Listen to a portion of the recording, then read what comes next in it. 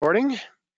And um, with that, like I said, today's uh, webcast will be in conjunction with Logicalis, who's uh, been a long time uh, partner of IFS.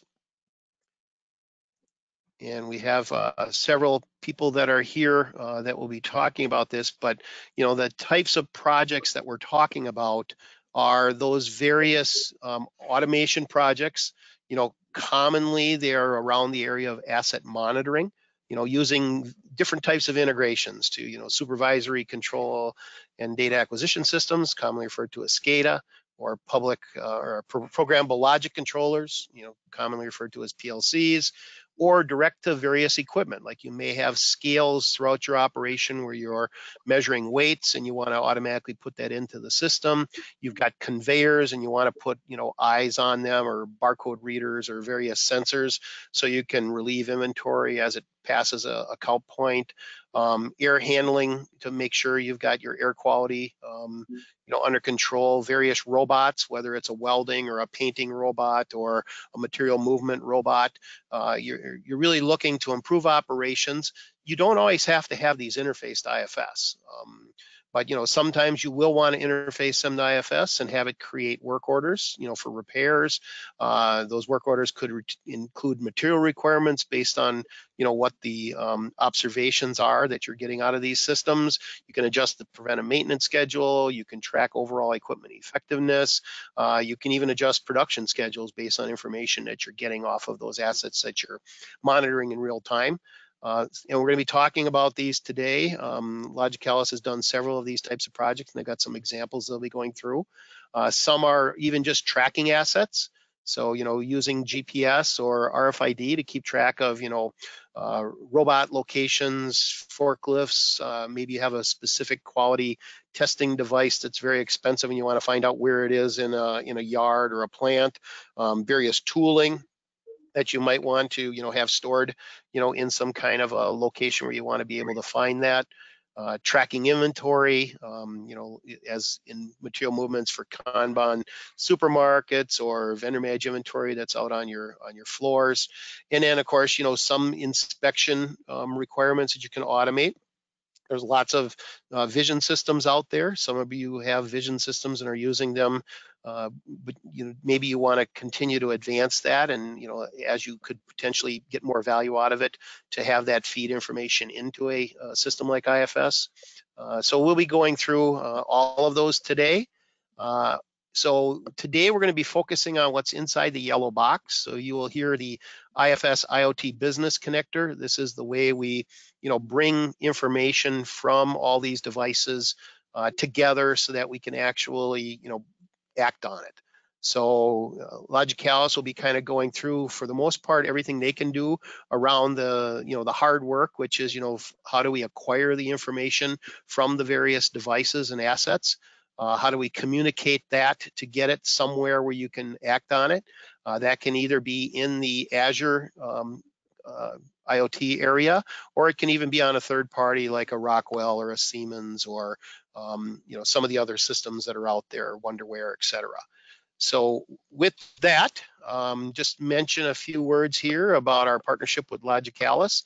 Uh, you know, IFS, like I said, has been partnered with Logicalis for about 20 years, um, and we do do uh, quite a bit of work with them. But uh, this particular um, informational webcast is focused on, you know, their area uh, here. And with that, I'd like to introduce uh, Sandy Schutte uh, from Logicalis to kind of give a little bit of a background and, and get us move forward. Sandy? Thank you, Bob, and um, good morning, everyone. Um, coming to you, I hope you're all staying safe as well as healthy during uh, our new normal times. Um, Logicalis has, as Bob mentioned, really been focused over several years in partnership with IFS, and you know we um, have deep ex expertise and experience in how to evaluate how to better optimize an IoT offering and solution perhaps you have already in place today, but maybe it's uh, not optimal. In how it is uh, working. Um, you know, we've got a, a, large practice around Microsoft Azure and uh, provide solution implementation and support uh, for the IoT efforts. Um, one of the key things is is how you get data, you know, from the collection point of uh, whether it be extracting in video or uh, scanning or sensor but how that data is used to better formulate analytics and uh, data that can be relevant to the business. So um, we we tend to look all encompassing from the sensor connectivity all the way through to the output and how that data is used and where it's stored and the the best ways for access and optimizing it. Um, corporately, uh, Logicalis, if you look at who we are uh, from a corporate perspective, is um, Logicalis US is part of uh, a global organization. We're uh, 1.7 billion in terms of our revenue, and our global. Uh, similar to many of your operations, uh, being a global footprint with uh, manufacturing or plant operations all over the world. We are in Europe, North America, LATAM, uh, Asia Pac, as well as Africa, and uh, have 6,000 employees that are uh, solution providers as well as business consultants that can help uh, work through um, initiatives around IoT. We're part of a larger organization, Datatec, that's traded on the South African Stock Exchange. So have about 10,000 corporate and public sector, uh, state and local government, education clients. And, um, you know, so building into our expertise in areas, um, we've spent a lot of effort around um, building and improving in the, the, manufacturing processes. If you look at, there's three focus areas um, and that would be on the next slide that we uh, tend to focus on that I uh, would like to introduce um, one of my um, service principals and counterparts who will begin speaking about how we're focused in accelerating that transformation on the, the digital highway in uh, certain practice areas. So with that, uh, Michael Streisig, if I could ask you to uh, take the ball and, and further discuss our capabilities. And good morning and afternoon. This is uh, Michael Strazik with Logicalis. Uh, I actually looked after, I look after our services uh, business for Logicalis uh, within North America. And uh, from a, a, service perspective, uh, we really focus in on, on two, two areas. first and foremost, we are a solution provider where we work with our clients to envision, plan, design, you know, source the hardware, software, and uh, implement solutions on behalf of our, our client base. Uh, we are also a, a, service provider in that we have been in the remote monitoring and managed services business for the last 20 years and you know have a number of uh, um, partnerships with third-party public cloud providers as well as being a, a public cloud provider uh, ourselves.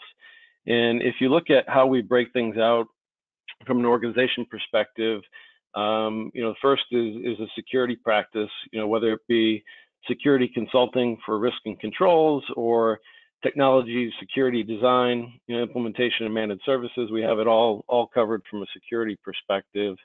Um, in the cloud world, you know, this includes both the third-party public cloud providers that exist out there, as well as hybrid cloud, hybrid cloud approaches, you know, for clients that have their own uh, data centers and infrastructures that they own and maintain as well. So we have the capability to, um, you know, envision, plan, design, implement, manage these environments for our clients.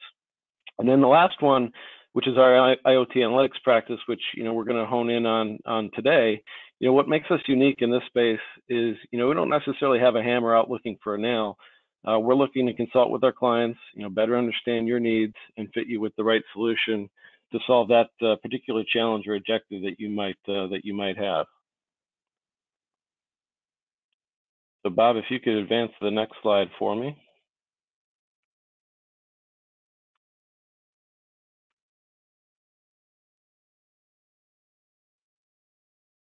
There we go.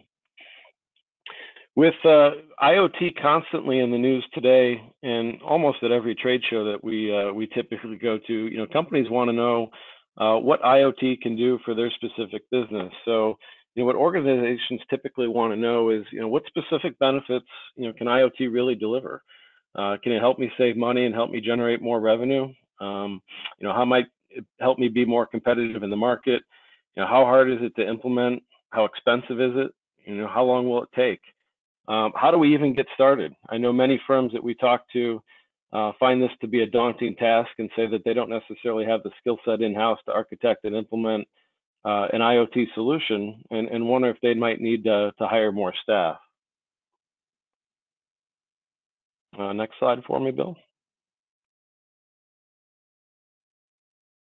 Now we know that IoT solutions can help you, you know, lower service costs, improve business process, and reduce security risk. And we've actually seen this accomplished by you know avoiding unexpected system downtime you know disruptions by automatically collecting and analyzing data to find machine faults uh, or failures before they even happen um, you know reducing unnecessary maintenance by only servicing the assets uh, you know when they when they are needed um, which should lower service costs and as well as personnel health and safety costs um, you know decrease spare part inventory uh, you know, ordering only what's needed and, and, and actually when it's needed. Uh, next slide for me, Bob. Uh, almost every business leader I speak with these days uh, is looking to explore and leverage, you know, this new technology to help identify new revenue stream sources. Uh, they're looking to quickly monetize these new capabilities by offering improved service levels and delivering new business models to market. You know, they're looking to drive increased sales by improving customer satisfaction, um, offer new maintenance services, you know, based on some of the IoT data flows, and ultimately provide, you know, new as a service offerings to complement some of the existing product offerings that may already exist inside your portfolio. Um, and, and lastly, you know, help you differentiate from your competition by offering some of the product services and service levels that they don't necessarily have in place today. Uh, next slide for me, Bob. Uh, you know, we know it's absolutely critical to get fast time to value and shortening the time from ideas to realized benefits. So, you know, the Logicalis IoT practice brings a consultative approach to the table uh, to help you really get from A to Z. Uh, we have vast industry knowledge and expertise in order to quickly get your specific solution to market. And um, Bob, if you could advance to the next slide. Uh, in terms of today's conversation, you know, we really have three areas that we want to uh, to hone in on. Uh, those being the asset monitoring, track and trace, and you know, analytics for production quality. And one of the subject matter experts that we've uh, brought here today uh, is a gentleman by the name of Bill Evans, and uh, Bill has a uh, vast experience in the IoT arena and uh, one of the leaders in the space for Logicalis. So, Bill, without further ado, I'll turn things over to you. Thank you, Michael. Really appreciate that. And uh, as Michael mentioned, there are no shortage of use cases and options when it comes to how to leverage IoT or what role IoT plays in modernization. Uh, but there's a a real specific reason why we focused on these three areas. Uh, one, they're important places for our customers to start and organizations to start. Uh, and they also have significant impact on the bottom line areas that Michael touched on, whether it is uh, introducing something that extends an improved experience for your end customers, something that will reduce costs and increase operational efficiency, and then also enhance existing or open new consumption models or revenue models or revenue streams as well. And and that last one is uh, can sound like something that can be rather challenging to do, but we'll talk a little bit through uh, how that's possible. So again, we'll focus on these three use case areas. Uh, there certainly are many others, and sometimes it can be easy to focus on the very exciting, what we would call the shiny ball use case that might seem like the most exciting one to solve, but oftentimes those really need foundational things to get to them. Uh, and, and there are things that can be done in a much shorter time frame that deliver quick results and can help build a solid foundation for modernization. And, and we'll talk a bit through that. We can go to the next slide, please.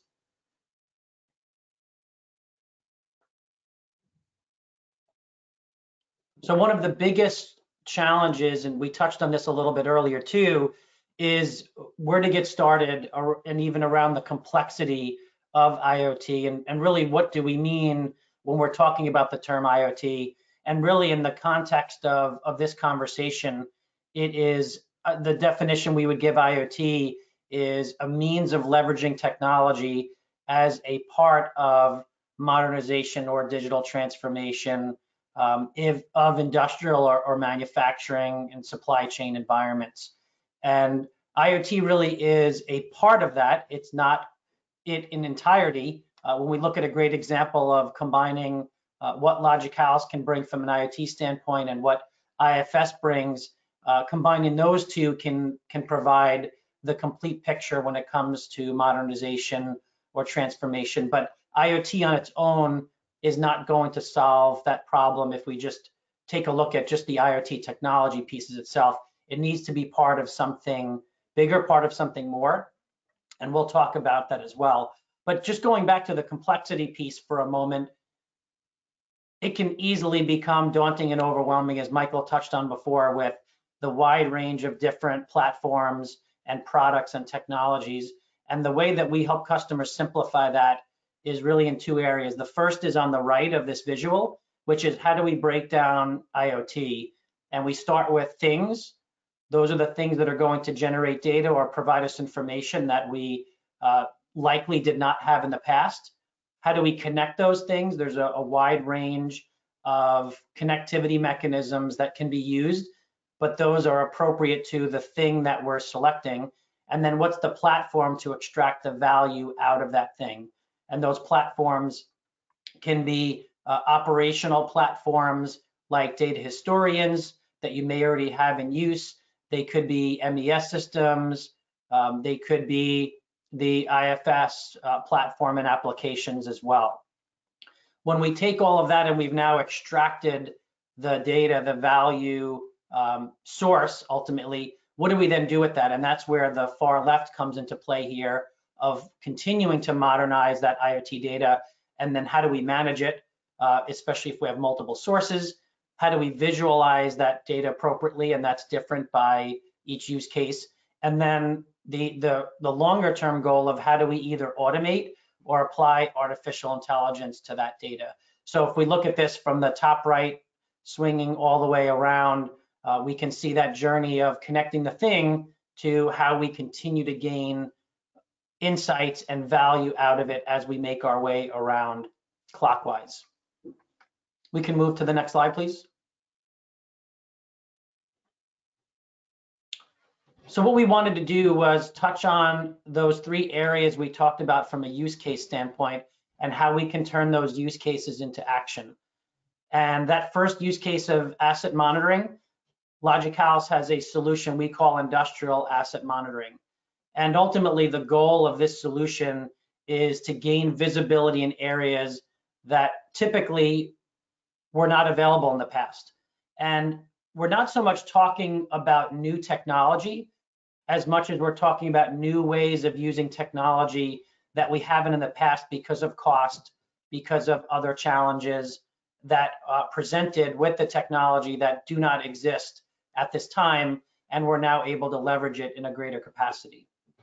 So when we think about the wide range of assets that exist in your environments, uh, some of them may be what we would call partially connected, meaning there is data being extracted, but that data maintains in a siloed system.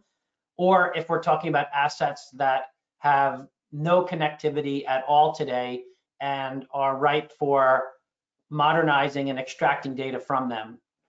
And we'll talk a bit about all the, the benefits of that.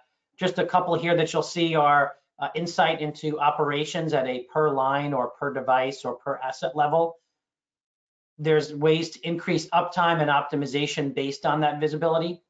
And we'll talk through a, a real world example here of what components we're talking about in the solution.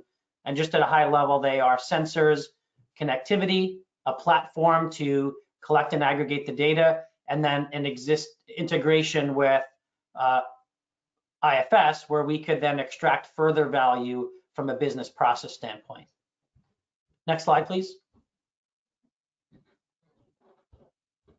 So this is a, a, real world example, and we feel this is really important because we can candidly uh, sit here and share with you a lot of great possibilities and ideas of what could be, um, and really start thinking about use cases and talking about the potential of what's possible or the art of the possible, as it's often referred to.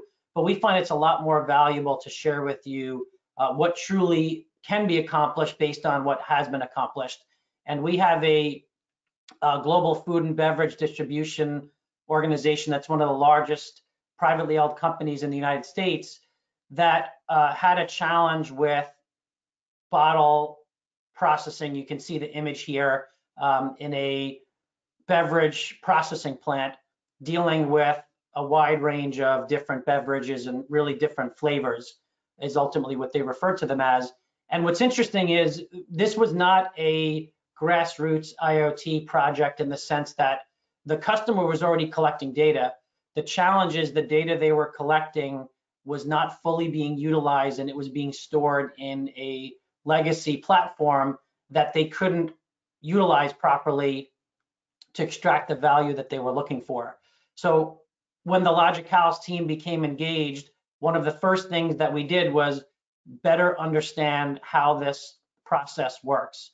And there were things like liquid temperature throughout different stages in the process, uh, how the uh, process is completed with filling the bottles using uh, a gamma ray fill level inspection mechanism, and also that we were dealing with about 12 different flavors of beverages that all had different chemical makeups and characteristics. So as we went through that process, this was again not about collecting the data. The data was already collected. It was extracting value from the data. And we were able to accomplish that using a modern data platform uh, that consisted of Microsoft Cloud, as well as some purpose-built software that is focused on automating the AI and, and essentially data science pieces to extract the value out of that data. And the end result was identifying one particular flavor amongst those dozen or more flavors that was the challenge area and focusing in on how to manipulate the temperature of the liquid, and other elements of the, the chemical compound process that in the end allowed us to deliver some really powerful results. That data was then fed back into the manufacturing process and manipulated that particular makeup and, and formula for that one flavor, which in the end resulted in a 50% reduction in waste, in waste of the of the beverage liquid, which equaled $200,000 in savings per plant um, and that also gave them a base platform to extend into other areas for things like data visualization and AI. So this is a, a really great example of where data was already readily available. It just couldn't be fully harnessed based on the legacy data platforms and AI tools that either existed and, and weren't modern or did not exist and needed to be introduced. So this is, again, a great example of leveraging existing data, but harnessing it in a way that wasn't possible before and identifying insights that were uh, too unique to be identified by, we could call it the, the human eye or other means. We can move to the next slide, please.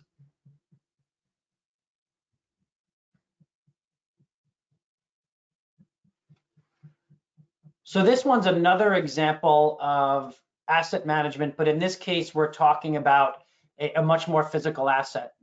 This is a US-based furniture manufacturing company, and one of their key raw materials is a what's called a, a polymeric bun or a poly bun for short. And that bun is essentially the foam that you'd find in just about any furniture where you sit down, you'll feel that the cushion in the furniture, whether it's uh, a couch, uh, sometimes you can find them in, in automobiles as well but uh, these buns are delivered to the customer in a condensed form and then they're opened and they over about a 24 hour period expand into their full size and have to be measured and then cut to shape for each order, their end customer order. And the challenge with this process up to date has been it's been an entirely manual process. Resources use tape measures and other rather rudimentary means to measure these buns. And in the end, they wound up with a couple different challenges. Sometimes the, the buns would be larger than ordered, and there'd be a, a billing issue that would need to be addressed. In many more cases, they were smaller than ordered, or sections were damaged that needed to be removed and further shrunk the overall usable size of this raw material. And again, this material went into about 80% of their products. So it was relevant day in and day out. Uh, not only the time it took to prep this material, uh, but the, imp the impact in production when there wasn't enough material. So what we did was not only introduce a new data source into their environment, but capture it in a digitized way. And if you look at that image in the middle there, uh, that that's hanging, that is a dimensioning system that is typically used to measure boxes, but we introduced uh, for the first time ever to measure an object like these buns. And ultimately, we're able to do is take a 30 minute to an hour process that would typically be required to measure out these buns. And uh, because of their size, they were um, in many cases close to the size of an, an automobile once they expanded to be able to streamline that to be done in seconds, not only, again, much more rapidly, but extremely accurate to well below uh, an inch, which was well within their requirements using this dimensioning system. That data went into an edge piece of software, which you can see the image on the side there. And then that data was streamed into the ERP environment. And not only did that, again, digitize the process, make it more accurate, and that's where you're seeing that 32% increase in yield by addressing defects and delays, which had a $500,000 impact per plant. But just as important, especially when you start looking at the numbers, is the reduction in, in cost around uh, the, the billing challenges and waste related to billing, uh, which had a $350,000 impact per plant. And that had to do with the number of cases where the end result raw material delivered to them was undersized, that information automatically went into the ERP system and was able to be reconciled, reconciled, excuse me, in the billing address. So um, in addition to all of those benefits, uh, we, we didn't talk too much here yet about the visualization piece of this, but they were again able to visualize this in a way that was not modernized in the past and gave them lots of benefits around reporting and, and other mechanisms uh, to increase value to the organization. Next slide, please.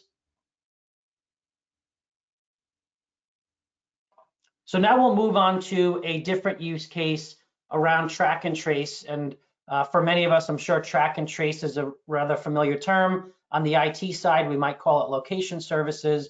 Uh, but really what we're talking about here is movable, non-fixed assets that could be inventory, raw materials, uh, production tools and assets that are mobile and can have an impact on the production process and efficiency and even waste and loss when they're difficult to locate. And again, what's interesting about this technology is that it's not necessarily new from a technology standpoint, but there are things that are new with regard to how the technology is deployed and the value it provides that really changes the perspective of it today that might have been there several years ago or even just in the last one or two years. So we can dive right into an example use case to talk through the details here. We can go to the next slide, please.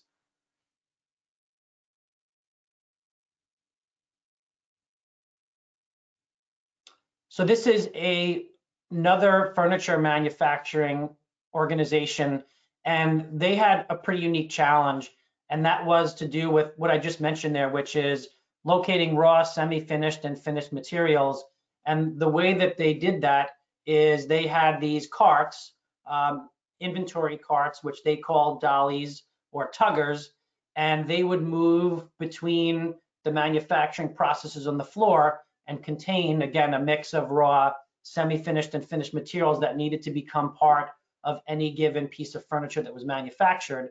And the challenge was is that was managed very much in a manual manner up until um, modernizing and digitizing with Logicalis. So every time a team needed that, that would have to be brought by an employee over to the location or, or the area where the work was being completed. The next request would come in. So it would really be ping ponging between all these different locations in a very inefficient manner. And there were often times where no one knew where uh, these carts or tuggers were being left. And they'd have to go and search them out. And there'd be even issues with how much inventory was in them and the like. So what we were able to do for the customer was implement a track and trace solution that tagged each of the carts based on the inventory that was in them and would allow us to inform immediately where they were. They could easily look at a visual representation of the warehouse or plant floor and be able to identify exactly where the inventory was and how much inventory was in each cart so that they can address as needed. So when we look at the impact of this, it had a, a 21% impact in efficiency just by the time saved in knowing where the inventory was and how much inventory was there and available. And that had an impact of $173,000 in savings per plant per year. And because of that implementation of the location services, they were also able to look at efficiencies in other areas where they were able to leverage that wireless technology. So this was really a, a first step for them in one track and trace application that had future benefits that they would leverage as well. Next slide, please.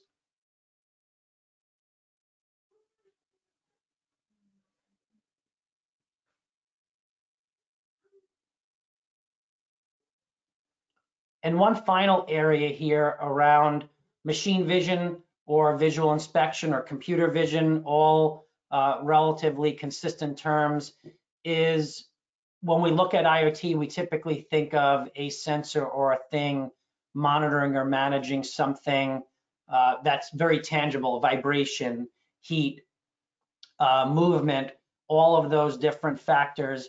And, and those can be intrusive depending on the type of device that we're talking about, especially when we talk about um, measuring something complex like defects in a wiring harness or an assembly a discrete uh, assembly process that has many intricate parts, or even something like liquid um, or flow speed, where measuring those with a sensor that is integrated into it, meaning we're drilling a hole in a pipe or something like that, can be very intrusive. Those things can be uh, challenging to maintain from uh, tuning and calibration standpoint and wear over time because of heat and, and corrosion and the like. So there's many applications where using traditional means uh, would not be sufficient, simply weighing something or uh, vibration or, or measurement.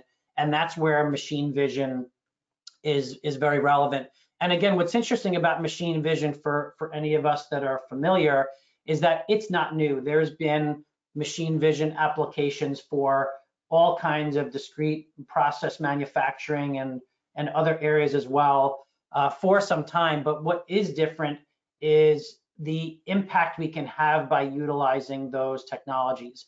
So what we're talking about is either taking a, a legacy machine vision solution and applying more intelligence to it, or just introducing an entirely new machine vision or computer vision type of application that has more smarts in it, more capabilities to do things like AI, uh, to detect defects in a much more granular level to do that faster in ways we couldn't before. So we're talking about opening up a wide range of new use cases for machine vision that weren't possible before. And I'll just give a, a couple of real quick examples.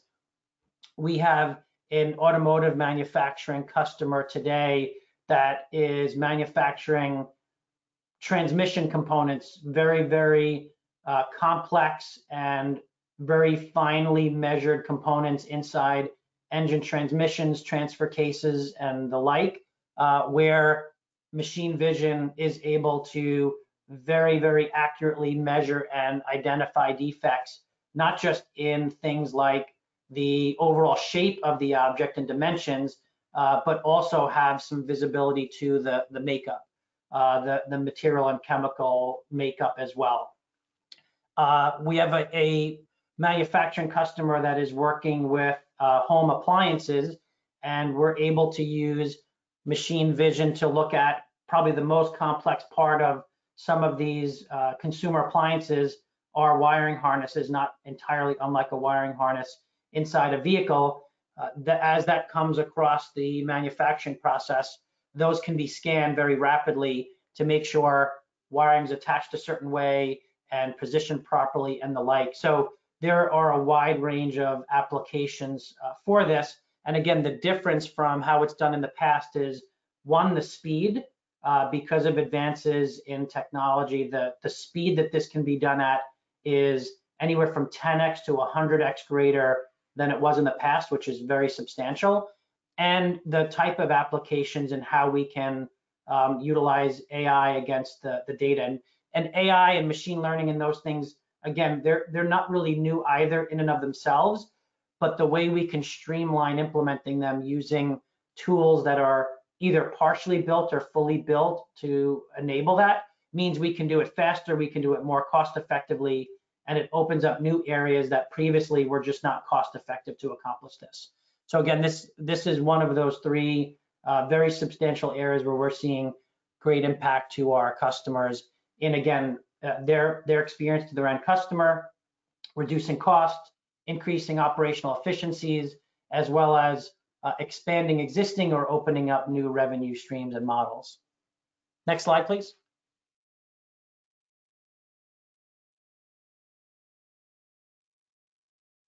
So one thing just to transition a little bit away from the use cases to talk about for a moment here is how Logicalis engages with our customers uh, and jointly in, engages with uh, Logicalis and IFS customers.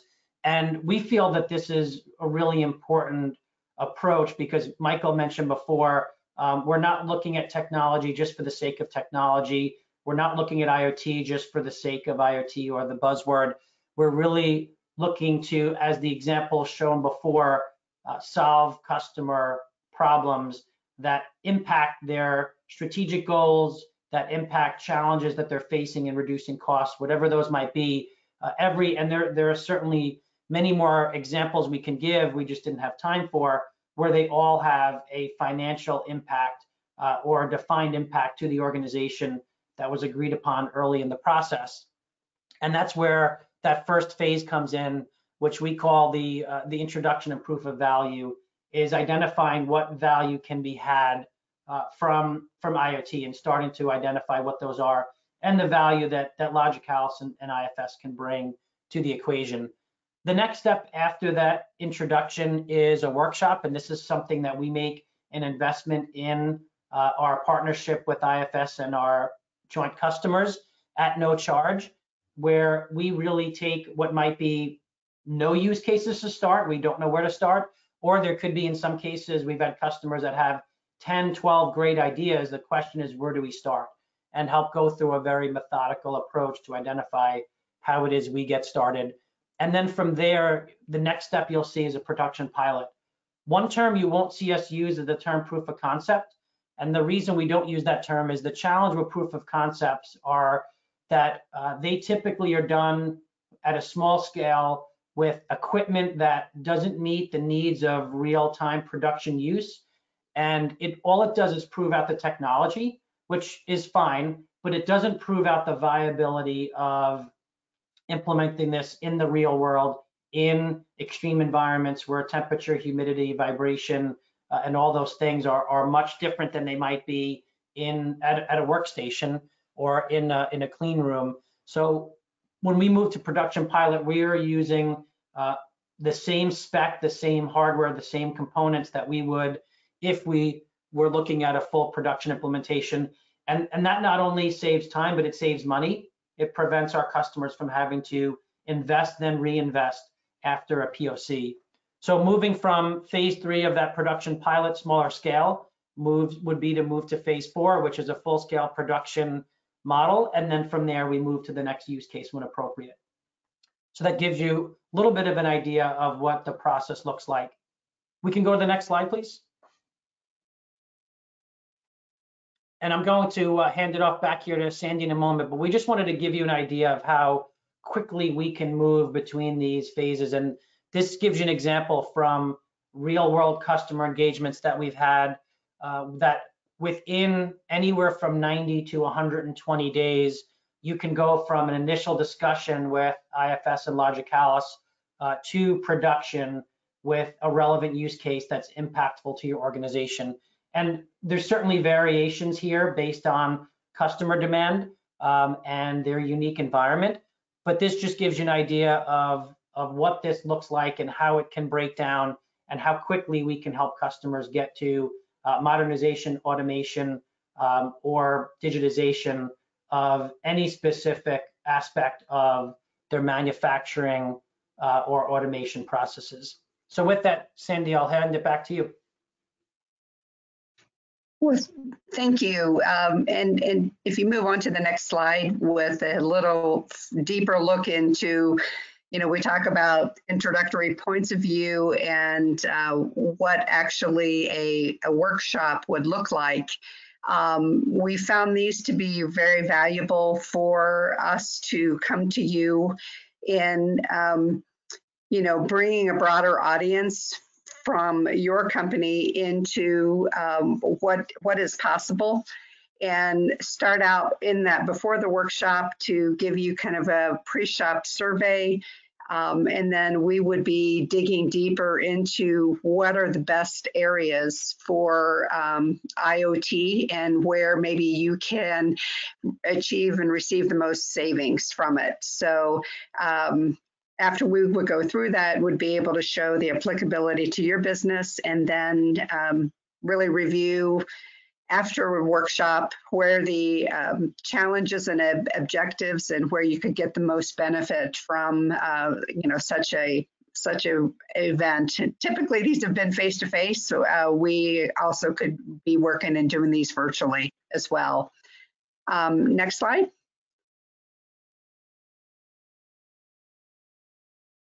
The idea of focusing in on those workshops um, with uh, specific messaging for whether it be monitoring for your process manufacturing, asset management controls. Um, you know, our partnership is uh, deep with IFS, and you know we know that there's ways to in increase and improve your business, along with monetizing that in a very quick um, uh, time to value back to your company. So um, oftentimes a lot of people look at projects and think they're going to take a very long time. That's not our approach. We um, really are all encompassing and quick to turn around maybe what recommendations might be or ways to improve um, you know the the way your operation is today. So I think with that, um, Bob, I don't know if there's any questions that have come up. Um, certainly, I know Yeah, we have a few more minutes. Yep, there's a couple that have come up. So those of you uh, to ask a question again, you just go back to that questions open or the little question, type in and hit send. Um, so a couple of them are related to the the workshop and how do you actually engage for these workshops. So um, Sandy, you want to comment on how they would actually get started on one of these workshops? Yeah, absolutely. Um, if it's an area that uh, would love to talk with you further on, uh, the best way would be to reach out to your IFS uh, client rep, who in turn will um, contact myself and the Logicalis team, and we would jointly uh, be able to arrange a time that's going to work best on your schedules. Um, as Bill mentioned earlier, we showed on the timeline, the workshop's not a huge investment. It's a no charge, um, you know, engagement to uh, to talk, and generally they're uh, you know uh, two to four hours in terms of time. Yeah, and and I put on the screen there, you know, I know some of you are, you know, maybe not even aware who your IFS account manager is. So just contact myself, Bob Corrigan, and you know, and Sandy directly um, at those email addresses. Uh, as I said, this will be recorded and you'll have access to it. But uh, we, you know, it's it's free, uh, and you know, right now they can be delivered, you know, uh, remotely. Um, particularly the uh, proof of value and then, you know, the actual uh, workshop to get one of your projects, you know, off the ground and started. Uh, there was another question here. There was some discussion about Azure and the Azure IoT Hub. Is this a requirement to use any of these solutions? I don't know who wants to bring that up, Bill or Yeah, this is Michael. Bill. Yeah, this is Bill. I can certainly take that. And um, Azure is not required. If you're already an Azure customer today, we can most certainly leverage that. In that particular example that we gave, the, the customer was already using Azure and they preferred to deploy the data management and analytics software there. Uh, but that can be on-premise, that can be in any cloud platform, um, that can be in the data center at the plant. Lots of flexibility there. Okay, um, another question here about, you know, how is the actual system integration determined uh, between IFS or what if they're using other applications they want to get this information into? So, Sure, I, I can take that one as well. So um, the integration with IFS is something that we have extensive experience with. So um, that is something that we can uh, easily do regardless of what the specific requirement is. If we're looking to integrate into other applications um, outside of IFS, that's certainly possible as well. The Logicalis team has an extensive group of developers, both um, uh, front-end developers and back-end developers that can assist with integrating with uh, a wide range of applications to date. We've integrated with about 30 different major applications, so chances are it's something we've done already, at least to some degree. Um, but even if it is something new, uh, that's something we can certainly do for you. okay, um, again, you can type in any questions that you have in the little questions bar. Um, I've got another one here that's, uh, have you seen any uh, new projects that are um, being driven by some of the new regulations that might be coming into place for COVID? Yeah, that- that- uh. Yeah, I, I can start that off. That's a really good question. One of them uh, is around uh, elevated body temperature detection. Uh, it's something that we're probably all seeing across the board over the last couple weeks. Here in the US at least, our global teams um, have been seeing this for more than two months. Uh, but one of the challenges is with uh, opening up some of the restrictions state by state and allowing people to come back into work, uh, what um, protective measures can be taken for the organization, for the employee, for their peers. And one of the best ways we can do that today is with uh, elevated body temperature detection. And there are uh, lots of different mechanisms to do that, some low cost ones, some very robust ones. Um, Logicalis is working with about uh, seven different major uh, solutions out there uh, that's really a big one. And again, that data and from that uh, from that tool or that technology can be integrated with other things. Um, but that's a big one. We, we have a customer, just as a quick example, that's saying we're scanning um, people's foreheads with digital thermometers coming into the building. And if I have 100 people per shift to do that, how am I going to do that in, at a reasonable volume and uh, unintrusive and, and the like? So um, again, thermal detection or elevated body temperature detection is a big one, and you can reach out to the team here for more information. Michael and, and Sandy, anything else um, that we'd want to touch on there? I think you hit it, uh, Bill. Thank you for uh, for sharing that. Sure. And I actually forgot one other one other one, and that is um, we could use the term social distancing, but we do have customers asking us about how do I ensure my employees on the plant floor, on the shop floor, are keeping a safe distance.